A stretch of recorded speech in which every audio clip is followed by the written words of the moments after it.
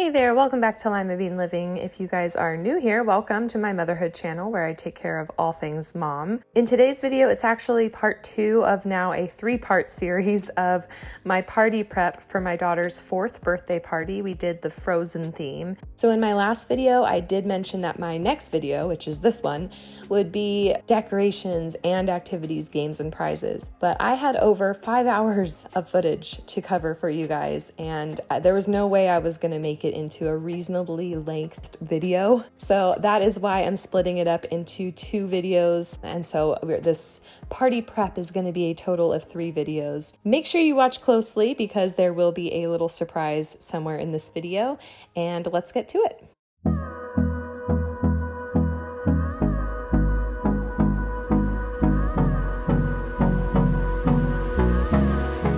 So let's start off by looking at some of the activities that I planned. So I had, I think, five activities that were just out in the open for everybody. Some were on the tables, some were at stations for the kids.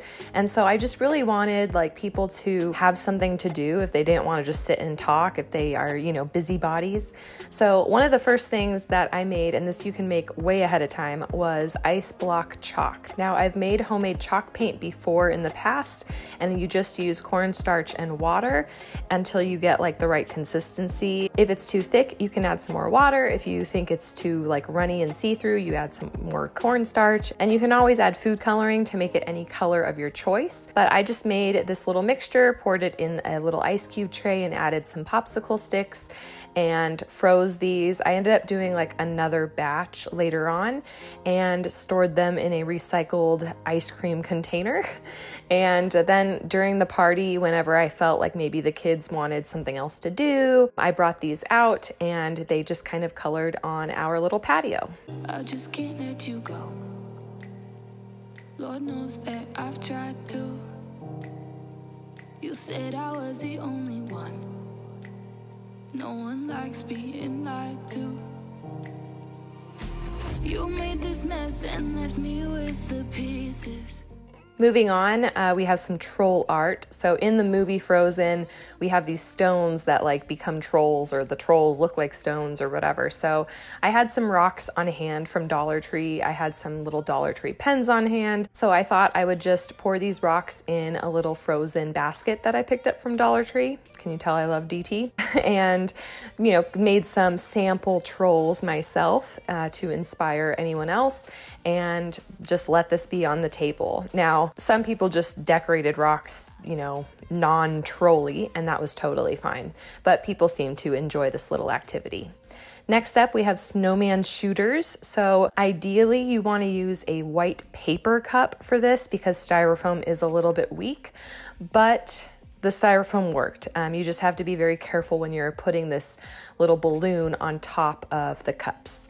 And so um, you cut out the bottom of the little cup, you tie the balloon in a knot, and then you cut off like the other opposite end of the balloon and put it on like a beanie on the little cup and then you can decorate it and make it look like a little snowman and then what you're gonna see is me um, put like a little fluff ball that I got from one of my decorations that you'll see me prepare in a later video.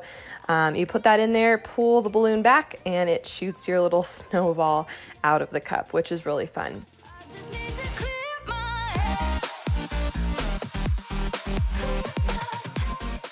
I did make little instructions with like pictures where I got the inspiration offline, and I ended up laminating this and leaving it with the stations. I have a laminator, I'm like very teacher vibes, so I just I felt like being extra and laminating this also to make sure that it doesn't like fly away, get ripped. That way people actually have the instructions and they will last throughout the party. I did laminate some other things while I was at it, like my menu and activities and games, and I left these on the tables so that people could see what was available for food and what was available throughout the day or what to expect when we were going to play games as a group.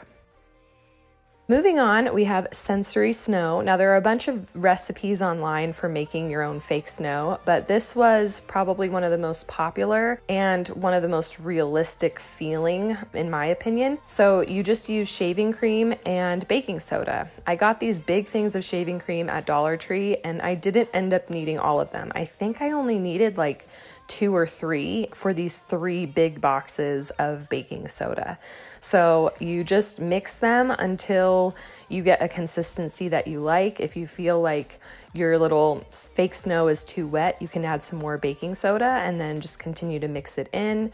I did prepare this at least one day in advance, and I did a test run like a week or two before just to make sure that the consistency would stay the same like over the course of a day.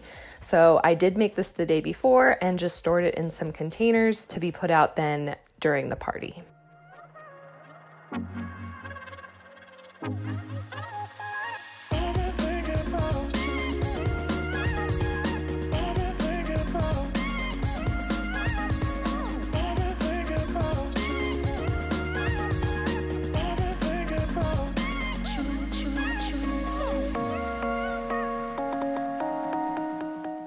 So I was making a lot of this fake snow, and my plan was to kind of use it for cleaning after the party since it is mostly baking soda. I did pour this in this little table, made a little snowman as decoration to get started, and then what I decided to do, be warned, this was a horrible idea.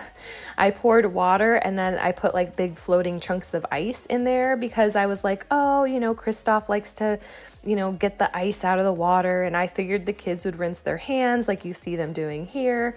I thought it would work out well. Well, Aubrey had the great idea of pouring like all this water into the snow and it just created this huge slush and the kids were having a blast, but it was a total mess, total disaster. Uh, I would not put those two next to each other again if I were to do it. But the snow was a hit but it just didn't last very long. So, moving on, one of the other activities that I had just out on the tables was a design your own snowflake. I used a little template that I found online and then I made like a sheet of instructions with like picture guidelines for the kids to kind of follow if they don't know how to read or don't have an adult helping them. And um, I did notice that some people were making their own snowflakes, but it didn't seem to be super popular among my crowd. But those are the activities that were kind of throughout the party. You could do whenever, if you could not do it if you don't want, whatever.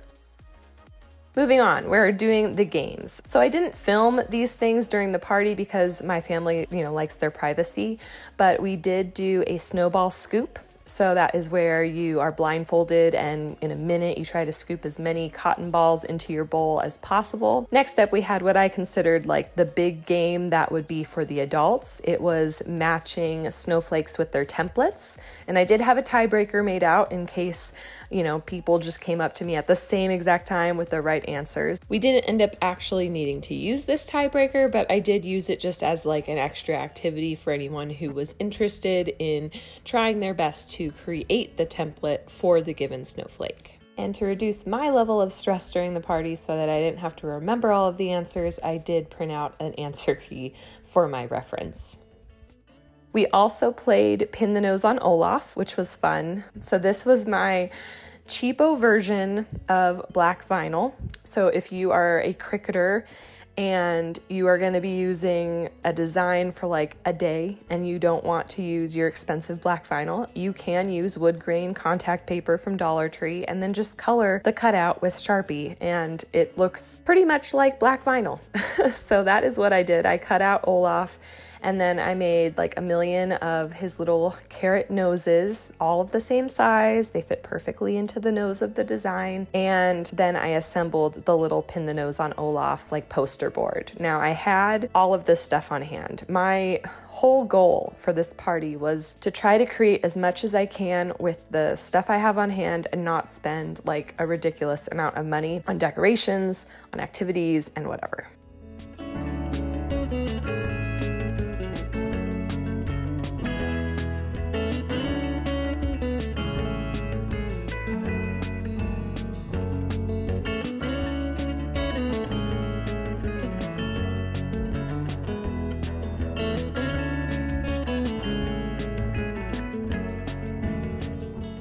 Now, obviously, if you don't have a Cricut, you could easily try to draw this by hand. It may not look perfect, and that's okay. I, you know, have a Cricut, so I figured I might as well use it. I did try sketching out Olaf on Aubrey's little like birthday present, and it wasn't perfect. It wasn't like, you know, to my liking. So that is why I went ahead with the Cricut. You can see I cut out the pin the nose on Olaf using the wood grain, and it does like look different from the Sharpie covered one. And you really can't tell that I didn't use black vinyl to cut out Olaf. So I'm really happy with this technique. I think I'm going to be using it again in the future if I, you know, am only going to be using vinyl for like a short amount of time. Anyways, moving on, uh, we're going to play Do You Want to Build a Snowman? Everyone, all the kids, anyone who wanted to participate was given three marshmallows and asked to stack them using only their mouth um, like a snowman, and the first person to do it won. So at the beginning of this video, I mentioned there's a surprise. On the screen here is the first part of an Amazon gift card code. The next and last part of the code will be in my next video where I talk about all things decorations for the party. So make sure you guys hit that notification bell so that you are like the first one to log in and see that video when it goes live. This gift card is really just a way to say thank you to you guys. I know that only one person is really going to be getting this gift card and if I could give one to everyone, I would. I appreciate you guys so much, and it just means the world that you come and watch my videos and support my channel and, you know, give me thumbs up and words of affirmation in the comments. It really, you know, warms my heart and means so much to me. So, thank you and congratulations to whoever is the first person to claim this card. Again, the second half of the code will be in my next video. So, make sure you write this down and stay tuned for that one to go live.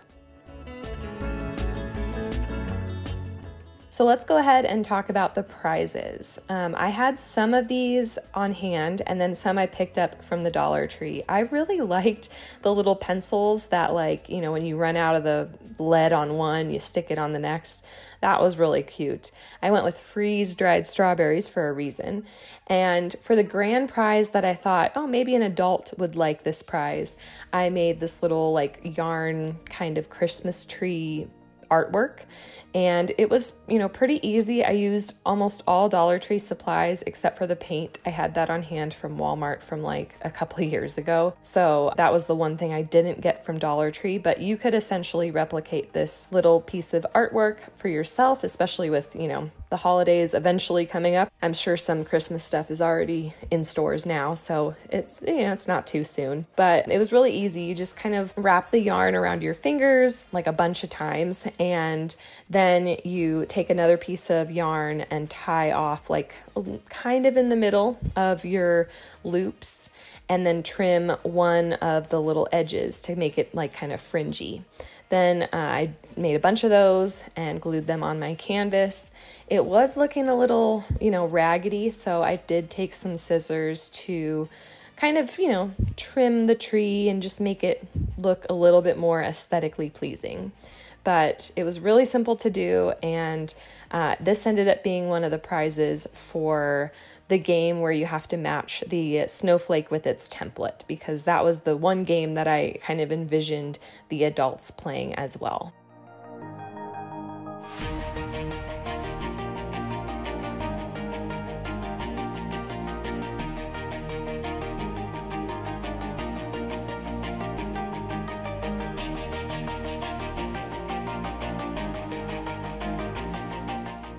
The center of my tree was looking a little bare, so I did make one more little tiny fringy loop thing and glued it in there. And I really like how this ended up turning up. I think I might make more just for decoration around my house. Moving on, we have the goodie bags. I just tried, you know, it's kind of convenient that Aubrey's birthday is before Halloween because you get those like candy sales. I did get some little chapsticks, uh, like Frappuccino style or soda style for the guys. And the Jolly Ranchers I originally bought mainly for my cake. So I separated out the blues and purples, and everything that was left was going to go in the goodie bags. I tried my best to make sure every goodie bag had the exact same candy. Not everyone got the same flavored Otter Pop, but you know, I figured that would be okay. And then Aubrey really wanted her own little chapstick, so she picked the strawberry one and she has kept it in her room uh, kind of more as a toy rather than a chapstick.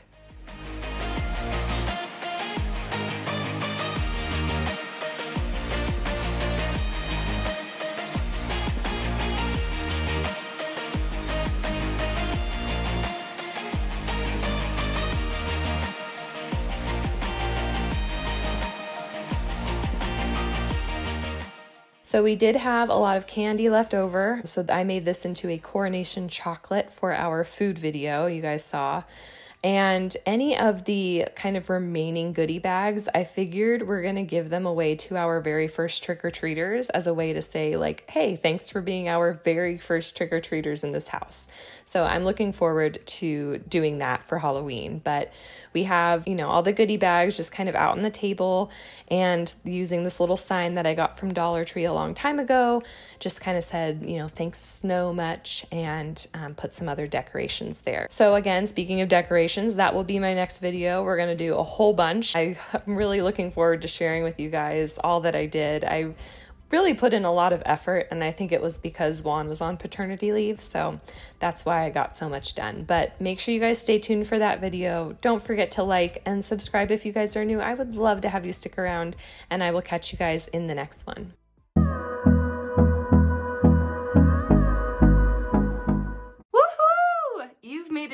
end of the video. If you didn't know already, every Monday and Friday, you can find motherhood and lifestyle content on this channel. And since us moms have to do it all, that may mean yummy recipes, easy DIYs, mom hacks, cleaning and organization, or just a combo of everything. Please know that you are loved and you are made for greatness, and I will catch you in the next one.